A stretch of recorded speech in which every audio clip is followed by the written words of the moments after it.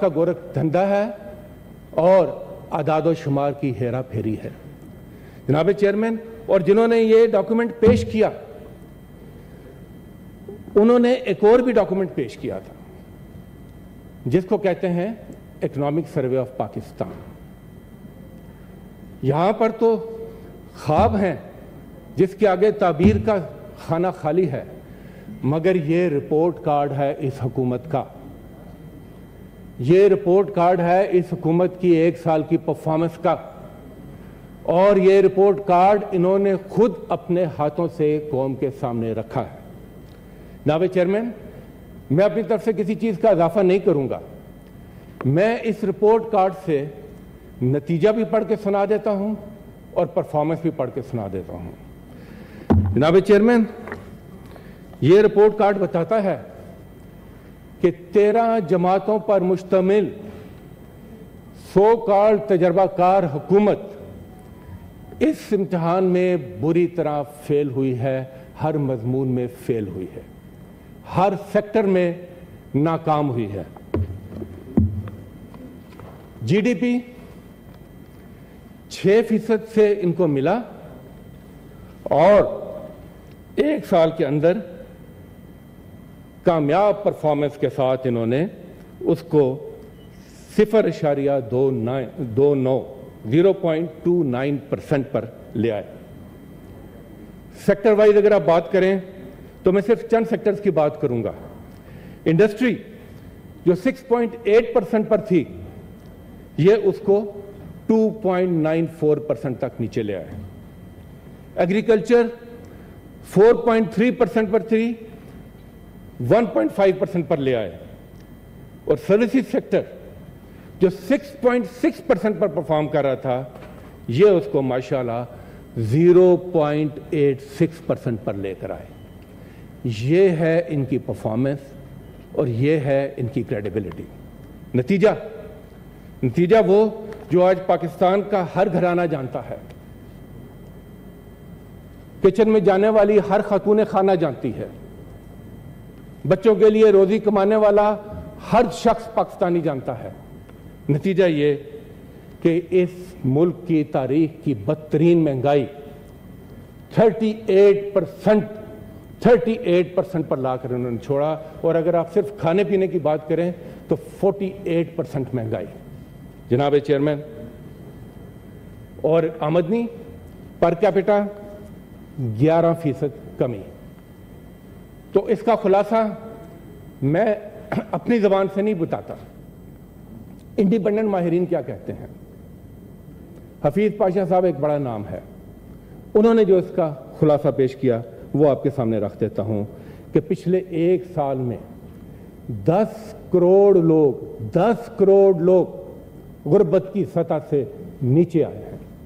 एक साल में। और तारीखी महँगाई, बेरोजगारी 10 फ़ीसद बेरोजगारी बढ़ी। आठ मिलियन 80 लाख नौजवानों की बेरोजगारों की फौज तैयार है।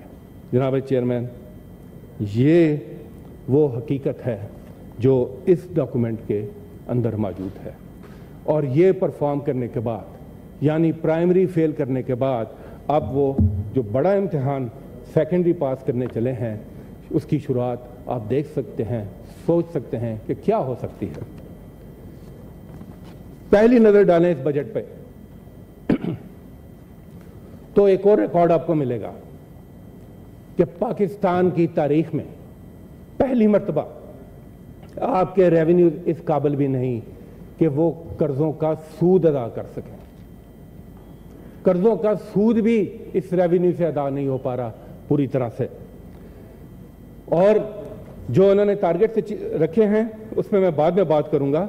मगर अगर उसको उनकी फेस वैल्यू पर भी लें तो टैक्स कलेक्शन टारगेट है 9.2 ट्रिलियन एनएससी के तहत जो सूबों को पैसे जाने हैं 5.2 ट्रिलियन पीछे बचा फोर ट्रिलियन इसमें non tax revenue 2.5 trillion add करें तो ये टोटल बन गया 6.5 ट्रिलियन और जो कर्जों का सूद की अदायगी है, वो है 7.3 ट्रिलियन यानी कि स्टार्ट से ही पहले एक ट्रिलियन का खसारा। अभी बजट शुरू नहीं हुआ। और बजट की बुनियादी चीज़ें, चाहे वो डिफेंस के अखराज हों, चाहे वो डे टू डे गवर्नमेंट के अखराज हों, चाहे वो डेवलपमेंट के अखराज हों, उनके लिए ख़जाना खाली है। बाहर अवाम की जेब खाली है, यहाँ इनका ख़जाना खाली है। ये है इनके बजट की शुरुआत। और ये फरमाते हैं कि नौ अशारिया, दो ट्रिलियन टैक्स हम इकट्ठा करेंगे, जबकि ये सात ट्रिलियन भी इनसे नहीं हो पा रहा। जनाब चेयरमैन 200 अरब का इजाफी बोझ टैक्सों का इन्होंने इस गरीब आवाम पर डाला। 200 अरब का, जो कि 28 फ़ीसद बनता है। और एक मरतबा फिर सुपर टैक्स चार फ़ीसद से बढ़ाकर दस फ़ीसद। सवाल यह पैदा होता है कि यह टैक्स कौन अदा करेगा? तो जवाब यह है कि वो ही करेंगे टैक्स अदा कर रहे हैं। यानी मरे को और मारेंगे। और जो लोग इस टैक्स से बाहर हैं, उनको ये हाथ लगाने को तैयार नहीं है। मैं सिर्फ़ इंडस्ट्री की बात कर दूँ, जिससे आपने एक्सपोर्ट भी लेनी है, जिससे आपने एम्प्लॉयमेंट भी जनरेट करनी है। उनके तमाम टैक्सेस सुपर टैक्स के साथ आप मिलाएँ तो चौतालीस फ़ीसद बनते हैं। और अगर वो अपना डिविडेंड निकालें पंद्रह फ़ीसद तो ये फिफ्टी नाइन परसेंट बनता है। अब आप बताएँ कि क्या इसके साथ ये रेवेन्यू किस तरीके से ये इकट्ठा कर सकते हैं। जनाब चेयरमैन चले। आप कोई नीयत तो दिखा देते, आप कोई सम तो ठीक कर लेते तीन जो बड़े सेक्टर हैं, वो अभी भी टैक्स नेट से बाहर हैं। रियल स्टेट का सेक्टर, रिटेल का सेक्टर और एग्रीकल्चर का सेक्टर। और रिटेल में जो बेचारे पीओसी पर शिफ्ट हुए, उन पर मजीद बोझ। 12 फ़ीसद से बढ़ाकर 15 फ़ीसद। एग्रीकल्चर नाम गरीब का इस्तेमाल होता है, फ़ायदा बड़े काश्तकार और लैंड उठाते हैं। जिनके पास एक परसेंट जो लोग हैं, जो कि 22 फ़ीसद ज़मीन के मालिक हैं। जनाब चेयरमैन, एग्रीकल्चर की अगर बात कर रहे हैं तो कहते हैं कि हमने उसमें रिलीफ दिया। मसला यह है कि गरीब काश्तकार को क्या रिलीफ मिल रहा है? गरीब काश्तकार की ज़रूरत, सस्ता बीज, खाद पेस्टिसाइड्स डीजल, वो इनपुट्स हैं जिनके साथ वो अपना काम चला सकता है। मगर वहाँ पर हमें कोई रिलीफ नज़र नहीं आता। जनाब चेयरमैन अगर एग्रीकल्चर को आपने आगे बढ़ाना है, जिस रफ्तार से आबादी बढ़ रही है, हमें ऑलरेडी फ़ूड सिक्योरिटी के मसाइल दरपेश हैं। मगर कोई तहकीक पर, कोई रिसर्च पर काम नहीं हो रहा कि किस तरह बीज की क्वालिटी को बेहतर बनाया जाए, किस तरह फ़ी एकड़ पैदावार को बढ़ाया जाए। किस तरह ज़्यादा रकबे को जेर काश्त लाया जाए? और हालत आज यह है कि हम दालें इथोपिया तक से इम्पोर्ट कर रहे हैं। टेक्सटाइल यहाँ लगाते हैं कॉटन बाहर से इम्पोर्ट करते हैं। सोयाबीन, तेल, सब चीज़ें हम इंपोर्ट करने पर मजबूर हैं। एक और बड़ा दावा हुआ आईटी के हवाले से। इसमें कोई शक नहीं कि नहायत इम्पोर्टेंट सेक्टर है। और ये कहा गया कि हम एक्सपोर्ट पर कोई टैक्स रिलीफ देंगे। जनाब चेयरमैन, आईटी इसलिए बहुत अहम है कि पाकिस्तान की जो यूथ है, अगर आपने उसको अपने पाँव पर खड़ा करना है तो ये सेक्टर सबसे इंपॉर्टेंट है। दूसरी बात, आपने अगर एक्सपोर्ट को बढ़ाना है तो उसके लिए भी ये सेक्टर बहुत इंपॉर्टेंट है। हमारी जो रवायती एक्सपोर्ट है, वो सारी एनर्जी डिपेंडेंट है।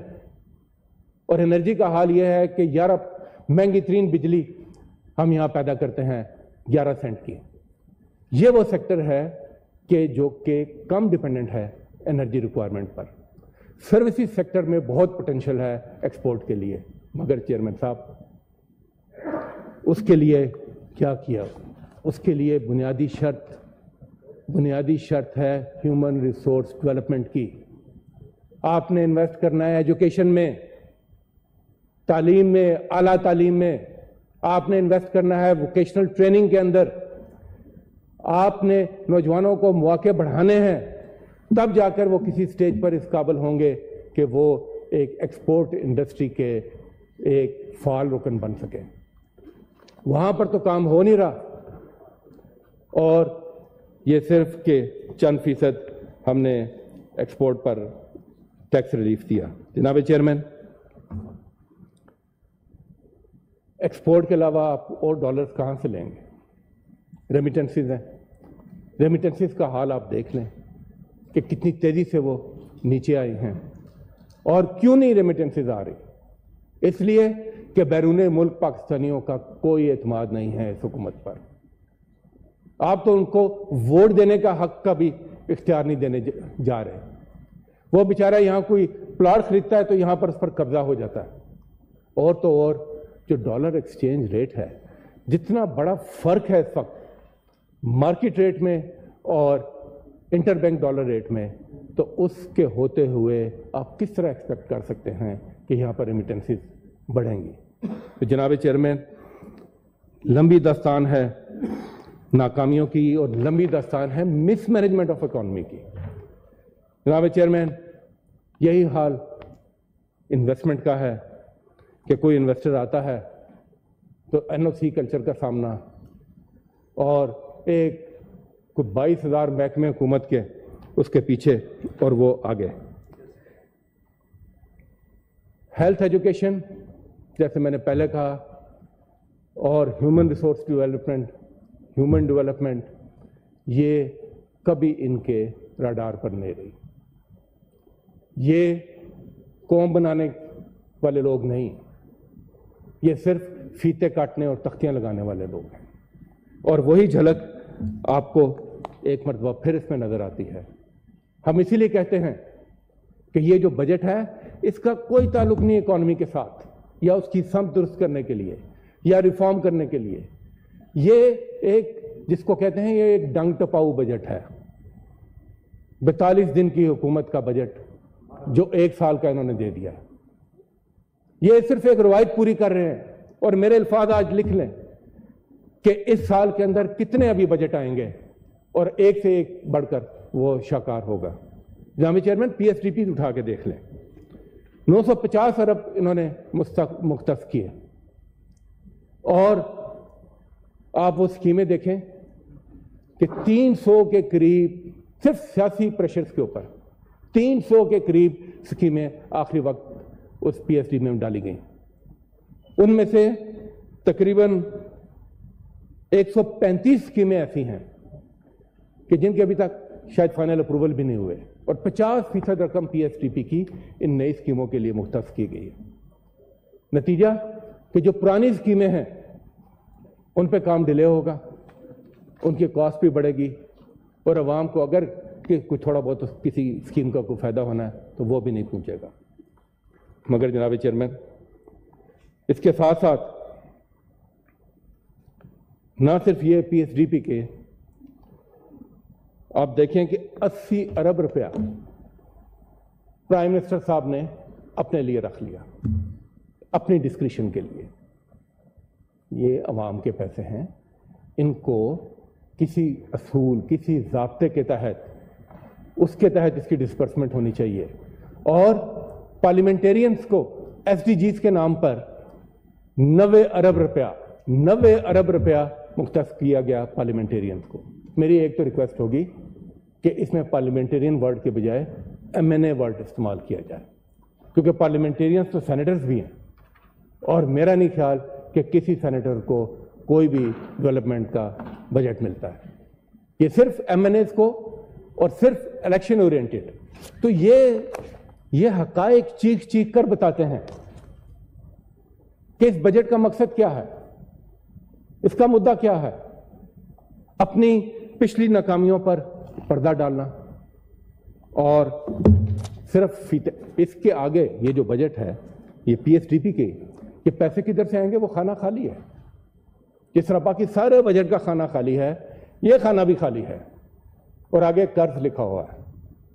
पूरा बजट का एक कर्ज कर्ज कर्ज कर्ज कर्ज बोरोड मनी और दूसरी तरफ़ एक लंबी फहरिस्त विशफुल थिंकिंग की।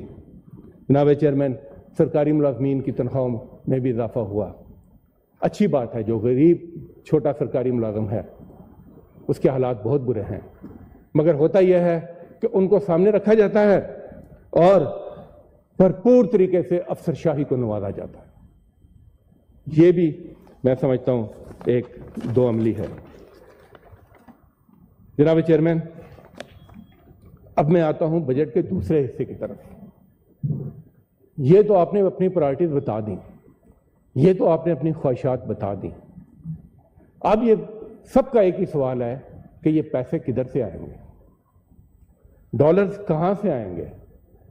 फॉरेन डायरेक्ट इन्वेस्टमेंट है कोई नहीं रेमिटेंसेस है कोई नहीं एक्सपोर्ट है कोई नहीं।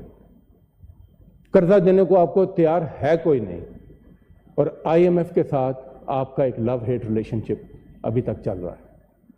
पूरा साल गुजर गया। पूरा साल गुजर गया। हर दूसरे दिन ताजियाने बरसाए जाते थे कीमतों के पाकिस्तान के अवाम पर। कभी पेट्रोल की कीमत में इजाफा, कभी डीजल की कीमत में इजाफा, कभी पेट्रोल की, के अलावा बिजली की कीमत में इजाफा।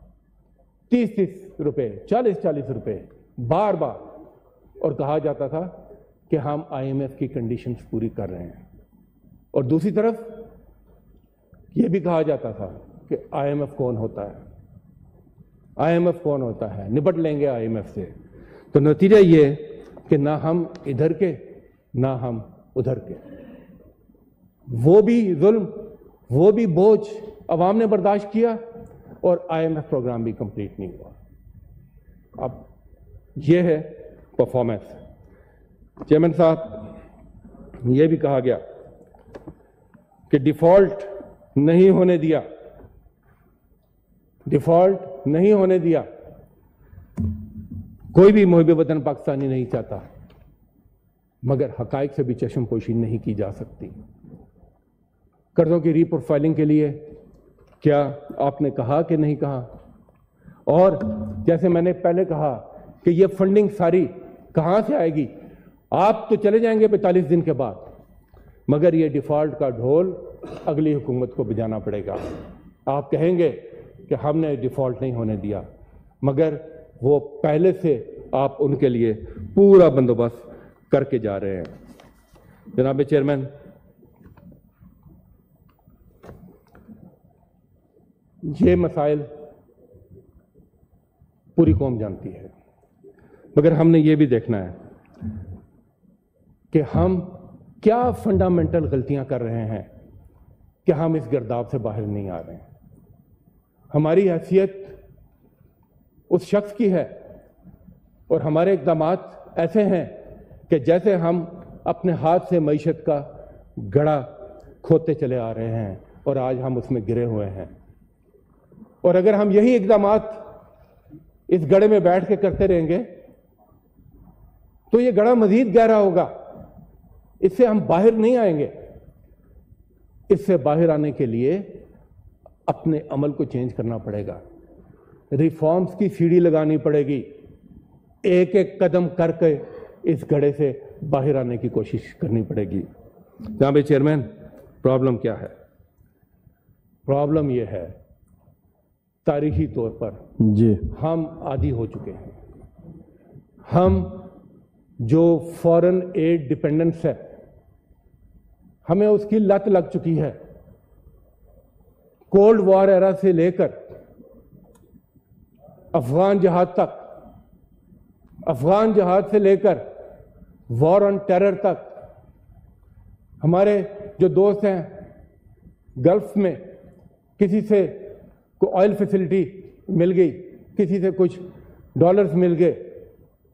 चाइना, जो हमारा ऑल वेदर फ्रेंड है, हम हर वक्त कहते हैं कि आप हमारी हर मुश्किल में साथ देते हैं, मगर वो भी सोचते हैं कि इनकी मुश्किलें तो ख़त्म ही नहीं होती। तो हम क्या कर रहे हैं? नतीजा ये हुआ कि ओवर द ईयर्स ये जो डॉलर्स का इनफ्लो था, उसका नुकसान ये हुआ कि हमने अपने हाउस को ऑर्डर में नहीं, किया। हमने गवर्नेंस पर तोजा नहीं दी। हमने रिफॉर्म्स नहीं किए। हमने वही माल मुफ़्त दिल बेरहम वही हाल रहा। और हमें आज भी बावर कराया जाता है कि बेगर्स आर नॉट चूजर्स हमें आज भी ये कहा जाता है। क्या आपको पता है? Habit is the one-stop solution for all your household items. ये पहला कदम आपको अपने कंफर्ट जोन से बाहर आना होगा। आपको ये जो शहाना अखराज हैं, उसमें कमी करनी पड़ेगी। आपको अपनी तरजीहत की सिमत दुरुस्त करनी पड़ेगी। तो पहला कदम यह होगा कि वेंटिलेटर से उठकर आप बरामदे तक आएँगे और बरामदे से निकलकर फिर आप मैदान में आएँगे और आज़ाद फदा में सांस लेना सीखेंगे। जहाँ चेयरमैन, ये तभी मुमकिन है कि जब एक रिफॉर्म एजेंडा पर काम किया जाए तो इलाज भी सबको मालूम है, बीमारी का भी सबको पता है तो सवाल यह पैदा होता है कि हम ऐसा क्यों करने में नाकाम रहें। हम अपनी समत को क्यों दुरुस्त करने में नाकाम रहे? तो जनाब चेयरमैन, ये एक और तल्ख हकीकत है। वो तल्ख हकीकत यह है कि तारीखी तौर पर इस मुल्क के ऊपर एक हुक्मरान अशराफिया काबिज है। एक परसेंट एलीट है जो कि हमेशा हुकूमत में रहता है। वो ना सिर्फ़ हुकूमत में होता है, वो बिज़नेस हाउसेज में भी होता है। वो ब्यूरोक्रेसी में भी होता है, वो तमाम ताकतवर सेक्टर्स में होता है और इनका एक अपना नेटवर्क है, इनके एक अपने मफाद हैं और इन मफादात के अंदर अवाम कहीं पर किसी इक्वेशन में नज़र नहीं आते। और जब लीड कैप्चर होता है चेयरमैन साहब तो वही होता है जो इस मुल्क के साथ होता है कि तमाम पॉलिसीज़ तमाम पॉलिसीज़ ब्यूरोक्रेसी आपके पास रिसोर्सेज आपके पास। पॉलिटिकल ताकत आपके पास। कानून साजी करने का इख्तियार आपके पास। मगर आप क्या करते हैं कि इसकी समत ये रखते हैं कि आपका ये जो दायमी कब्जा है इकतदार पर यह कायम रहे। और जो वेल्थ है नेशनल वेल्थ वो चैनलाइज होकर इसी एक परसेंट एलीट के पास रहे। नतीजा महरूमी सिर्फ़ और सिर्फ़ महरूमी वो अवाम के हिस्से में आती है। चेयरमैन साहब एक यूएनडीपी की रिपोर्ट है कि पंद्रह फ़ीसद सिर्फ़ पंद्रह फ़ीसद जी डॉक्टर साहब। सिर्फ़ पंद्रह फ़ीसद जब अवाम की बात होती है सिर्फ़ पंद्रह फ़ीसद अवाम तक पहुँचता है। उनके हिस्से में वही टूटे हुए पब्लिक स्कूल वही टूटे हुए पब्लिक अस्पताल। ये जो विषय सर्कल है चेयरमैन साहब इससे निकले बगैर बात नहीं बनेगी। आजकल एक और बड़ा बद वर्ड है, मिसाक मीशत आप मफाहमत का मिसाक कर लें, आप मीशत का मिसाक कर लें, वो सारे मिसाक इसी एक परसेंट इलीट के अंदर ही रहेंगे, चेयरमैन साहब, और उस किसी का कोई फ़ायदा आवाम तक नीचे नहीं पहुंचेगा। हाँ, एक रास्ता है, वो रास्ता वो डॉक्यूमेंट है जिस पर हम बजा तौर पर फख्र कर सकते हैं। वो आइन पाकिस्तान का डॉक्यूमेंट है। वो दस्तूर का डॉक्यूमेंट है, जो एक मुतफिक का डॉक्यूमेंट है और पूरी कौम को भी उस पर एतमाद है। आगे बढ़ने का रास्ता सिर्फ़ और सिर्फ़ यही है कि हम आइन पाकिस्तान के ऊपर सही तरीके से अमल दरामद करें और उसी में से रास्ता निकालें। और ये तभी है कि जब डेमोक्रेसी भी अपनी असल शक्ल में इस मुल्क में हो डेमोक्रेसी के भी दो हिस्से हैं। एक उसकी फॉर्म है और एक उसका सब्सटेंस है। सब्सटेंस के बगैर ये खोखली डेमोक्रेसी है।